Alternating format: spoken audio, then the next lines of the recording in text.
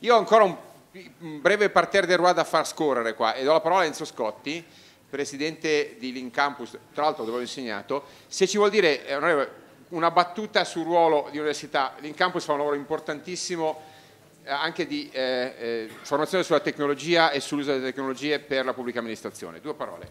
Ma io non eh, recupero tutto il tempo di, di Franco con, per solidarietà di casta. No, eh, io riduco carriera, velocemente.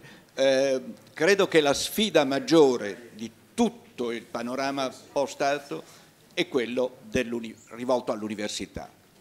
Eh, non ho bisogno di, di dire, eh, proprio è in quella quadro di visione sistemica a cui ha fatto riferimento eh, Pizzetti prima.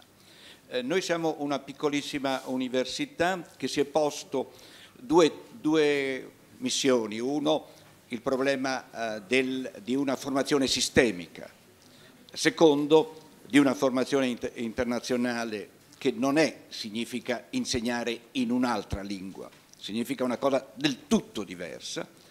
Eh, terza, siamo parte di un consorzio di eh, 16 eh, grandi università inglesi, americane e cinesi che si sono posti questi temi come uno dei temi fondamentali, quello di che cosa significa per l'università quello che sta avvenendo, proprio nella ricerca e nella formazione, non è solo un aspetto tecnologico, è un aspetto complessivo. Chiudo, noi siamo eh, disponibili e ringraziamo dell'invito insieme ad altri, ad università italiane, perché questo credo che sia la cosa più importante. Finirei con una battuta che è quella eh, che ci siamo posti. Eh, nell'università ci si troviamo di fronte ad una situazione in cui pensiamo di avere tutte le risposte, ma ci siamo dimenticati che l'innovazione ha cambiato tutte le domande. Questo è il problema.